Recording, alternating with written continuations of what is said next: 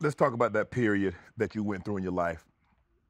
You get the hundred and thirty million dollar contract at the time. You were the highest paid player in the NFL. Peak. Yep.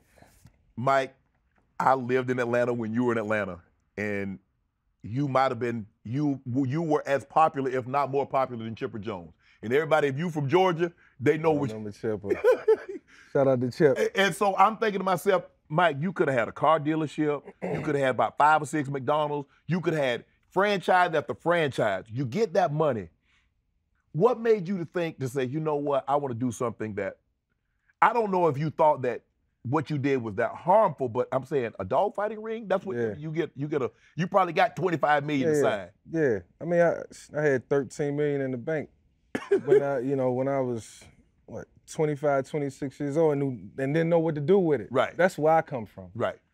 You know, by the time I end up taking You ain't think about a car wash, you ain't think about a barber shop. I was young. I went to Arthur Blank and I told him, I said, Mr. Blank, he used to always come to me like, you spending all your money, you spending all your money. This is real story, true talk. And I'm like, nah, nah, I got $15 million in the bank. I don't know what to do with this money. Right. I got everything I want. Every car, every house, whatever. I don't know what to do. And there's more coming. Got mom, got So, mom yeah, situated. yeah. So I'm like, I gotta protect this now. So I'm like, introduce me to some people Right. and help me, you know, grow this. Right. A- And so we had to sit down and, and uh, you know, it it kind of went it kind of went crazy, um, and that's you know uh, to be determined. But uh, yeah, man, I I was I was making those taking those steps to invest my money properly, and money was put into Union City, Atlanta. Um, was gonna build a city, strip malls, and Mhm. Restaurants, and we had a grant. We was so I was getting there. Right. I was turning the car. I was Right. I was doing what I was Right. supposed to do, and then uh, you know I ended up, you know, why as I started to turn the corner, as I started to see life different, you know, I got a, you know, I got a young, you know, daughter at the time. I got a son that's like four, and you know, as I'm ti- starting to make change, you know, it was just a little too late. Right. It was a little too late, and then I ended up going through that, and they they took everything from me. Right. They took everything, Shannon. Like I had I, I had eight million like invested in the city. I, they took it all. I'm like, yo, how you do that? So in other words, they thought that the money that even though you're a professional athlete, they think that the money that you got, you got it through ill-gotten means, that you got that through the ring. No, I earned that. No, I- I, earned that. That was that, that came from my play. Right. I, I mean, I saved every. I might have spent. I might have spent close to maybe liquid, maybe like two million dollars. Right.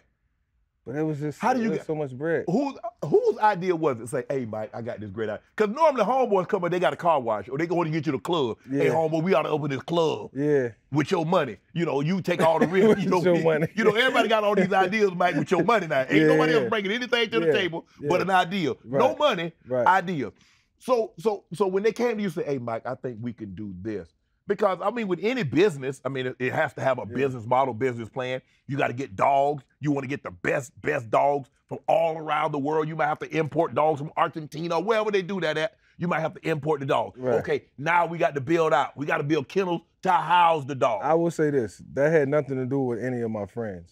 that was you. Yeah, I mean, yeah, I was. I, I grew up in. I grew up under that. So like, I grew up seeing that. Grew up watching it. So it, it just never like. I still had the hood in me. You're right.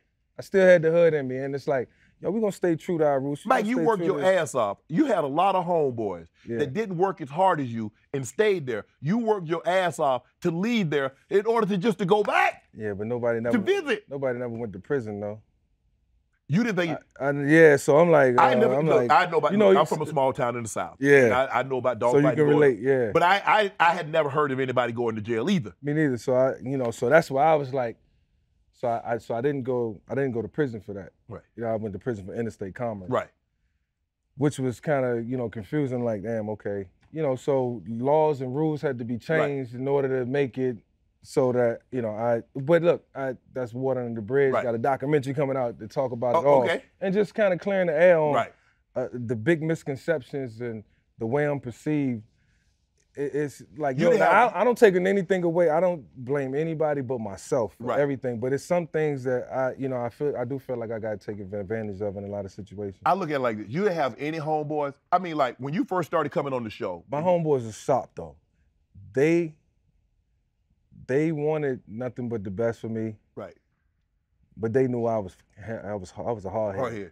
when I when I not not because I had a lot of money and I could I could make decisions, but they knew like yo if if uh, if we deter Mike from doing this, he ain't gonna do nothing. but Continue to do you know what I'm He saying? gonna do it with somebody else. He gonna cut up. yeah, so they, they felt like they was they felt like they was stuck between the rock Right. and the hard spot with me, and I res, I respect them for that. And just the, I heard the stories of them, you know, wanting me to get away from me, but they, they you know, they didn't know what to do, man. Right. You know, they, I mean, I- maybe they felt like, damn, Mike, Mike, he might cut me off Right. if I, you know, if I go too hard on them, and and and it's it's it's really me- it's messed up because that's how we was on the right track Right. everybody. And then when I say they had big plans, big dreams, and you know, we started a sports agency. We was doing a lot of stuff, man. They had sharp ideas, and by the decision that I made, Right.